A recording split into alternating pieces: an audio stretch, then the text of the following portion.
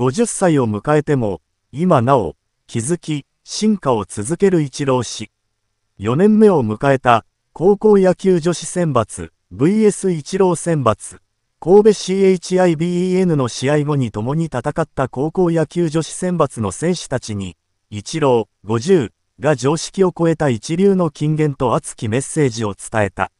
なお、熱きメッセージに溢れた後編は一郎氏、怪我した人は実は強くなる、そして優しい人になってほしい。高校野球女子選抜に送る言葉、後編、真っ先に浮かんだアドバイスは、人に対する敬意がすごく大事一郎。僕がみんなに何かその次に進むみんなに一言アドバイス。先輩としてアドバイスがあったらと、僕は真っ先に浮かんだのが、今年、僕がすごく感じるのはやはり敬意なんだよね。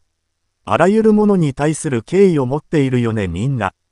野球への敬意、相手への相手の選手、僕たちに対する敬意チームメイトに対する敬意、見てくれている人たちへの敬意を感じる。これね、なかなか持てないんですよ。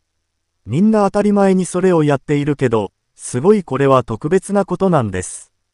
だから、次のレベルに行っても、みんなすでにそれを備えているので、みんなにとって当たり前のことかもしれないけれど、どのレベルに行っても、いずれ野球をやめる時が来ても、それはずっと持っていてほしいですね。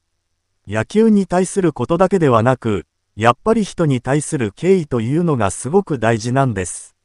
だから僕は感情を見せない選手、感情はもちろんあるのだけれど、喜びも悔しいことも見せない選手だけれど、それはやっぱり敬意に基づいているところが大きい。いいところでヒットを打ったとか、ヒットを打てば喜んでいる。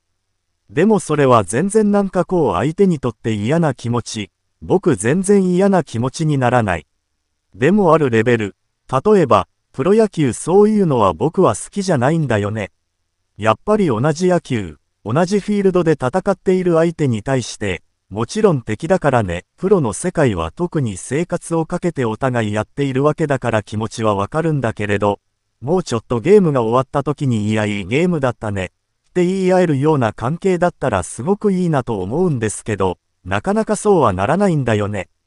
今日、23日のゲームをそういう気持ちになったでしょ。一試合終わった後に勝った負けた結果にかかわらず、相手に対する敬意すごく持ってるんじゃない。